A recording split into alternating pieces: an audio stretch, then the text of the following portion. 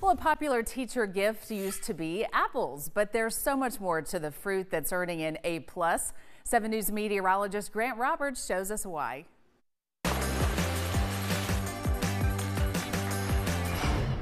A teacher and an apple is a long-standing tradition. Denny Bruce with Red Hill Orchard says he remembers it well. Give it to the teacher to try to impress her and hope you would be in her favor. But where did the tradition come from? Back in the 1700s in Denmark and Sweden, families would give teachers apples and potatoes as payment for teaching their children. It wasn't until the 19th century that it became popular in the United States, thanks to John Chapman, or as many know him, Johnny Appleseed.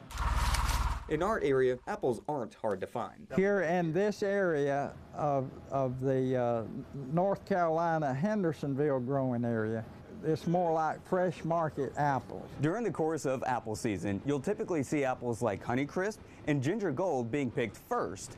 Gala will soon follow after that. Granny Smith apples will be toward the end of the season. And the benefits go beyond the classroom. An apple a day keeps the doctors away. Well, there is some truth to that. Dr. Charles Campbell has been in the nutrition business for more than 30 years. He says there are many perks to eating apples. Potassium is one of the ones that's important in the apple. It's, there is also calcium and magnesium. And again, anything that grows in the earth is going to have some of the major minerals. All of these vitamins and minerals go a long way to contribute to your health. For example, diabetes.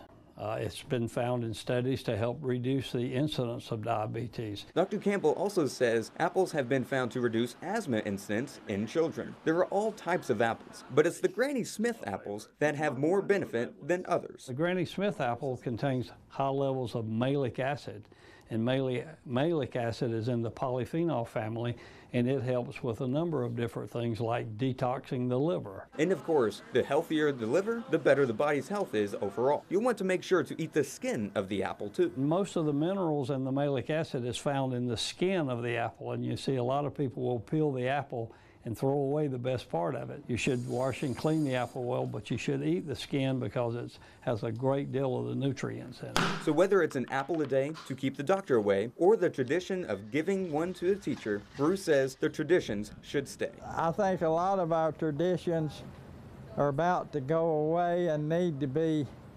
kept, and that may be one of them that we need to do. 7 News meteorologist Grant Roberts. All right, well, if you've missed any of our back to school weather week stories from our meteorologists, you can always check them out at WSPA.com.